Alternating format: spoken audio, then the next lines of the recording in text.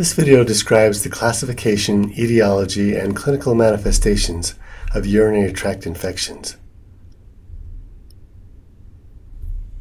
UTIs can be divided into upper and lower infections. Pyelonephritis is an upper UTI that affects the kidneys. Cystitis, urethritis, and prostatitis are considered lower UTIs. UTIs may be further classified as complicated and uncomplicated. Examples of uncomplicated UTIs might include a lower UTI that occurs in a non pregnant, healthy premenopausal female, or an upper UTI like pyelonephritis affecting the kidney in a young non diabetic male. In contrast, complicated UTIs occur in the presence of certain risk factors like diabetes, BPH, pregnancy, or menopause. Uropathogens include E. coli, which is the most common. Other UTI causing gram negatives include Enterobacter species like Klebsiella and Proteus, as well as Pseudomonas aeruginosa. UTI causing gram positives include Enterococcus faecalis, Staphylococcus aureus, and Staphylococcus saprophyticus, which is the second most common bacterial cause of UTIs in otherwise healthy young women. Fungal UTIs caused by Candida species most commonly occur in hospitalized patients with indwelling catheters.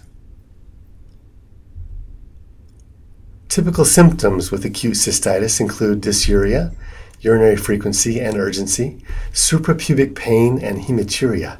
Common symptoms with pyelonephritis include fever, chills, nausea, vomiting, flank pain, and costovertebral angle tenderness. With pyelonephritis, symptoms of cystitis are often but not universally present. The constellation of signs and symptoms tend to vary for each patient population. For older men, their spectrum of UTI presentation includes pelvic and perineal pain, suggesting cystitis that is likely attributed to prostatitis or BPH.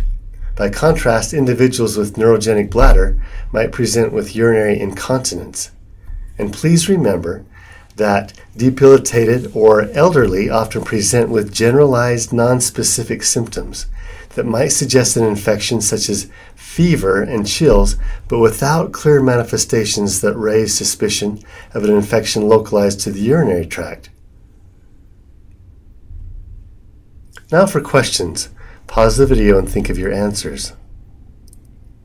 If you answered the following, you are correct.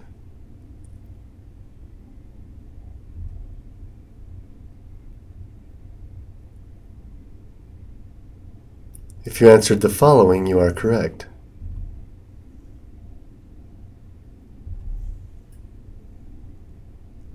Thanks for watching.